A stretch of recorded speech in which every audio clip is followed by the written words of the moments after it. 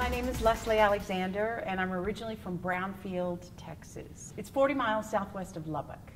And I actually grew up on a cotton farm, flat, and would run through the cotton fields singing The Hills Are Alive.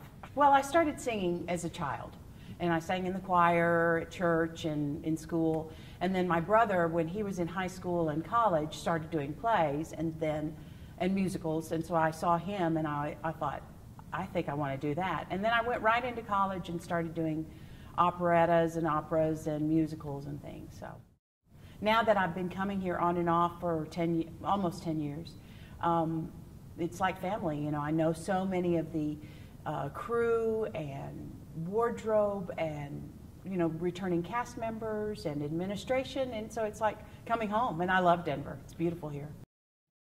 One of the my favorite things to do is we sneak away to Copper Mountain and go snow tubing. it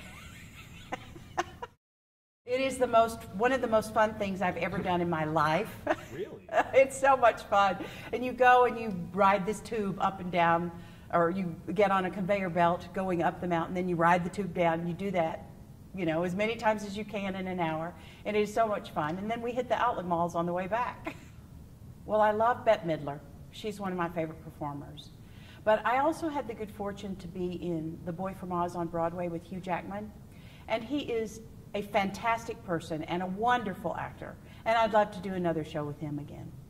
Well, I have discovered my other passion, uh, work passion, and I'm a professional organizer.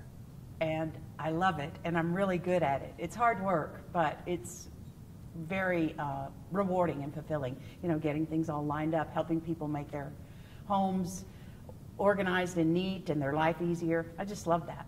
You know, I would love for everyone in the world to have plenty to eat and plenty of clean water.